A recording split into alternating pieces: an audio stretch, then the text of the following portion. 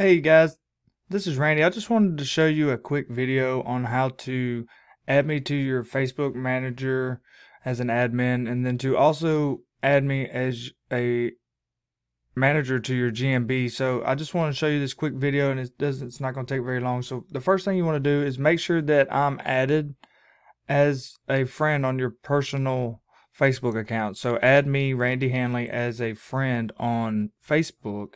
And then once you do that, you'll come into your business uh, page and you want to scroll down here to settings and we want to click on settings.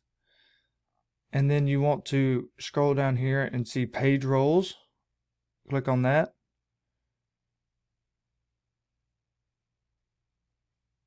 And then you're just going to come down here to where it says assign a new page role. So you're going to put my email in there, which is Hanley Digital Consulting at gmail.com. And then you're just going to click whether you want to add me or admin, and then you're going to click add. So once you do that, I should be added to your Facebook page.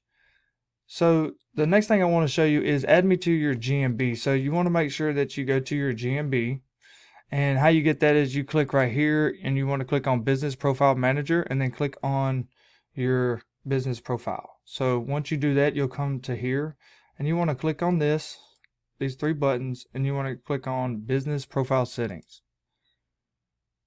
And then you want to click on managers and then you want to add me and it's going to be the same email address which is hanleydigitalconsulting at gmail.com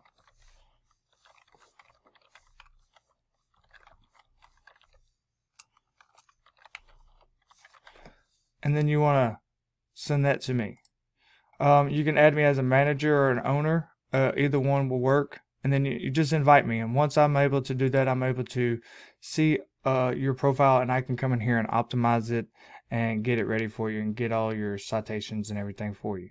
So thank you for watching. And um, if you have any questions, just uh, feel free to give me a text or a call. But hopefully these videos can help you. Thank you.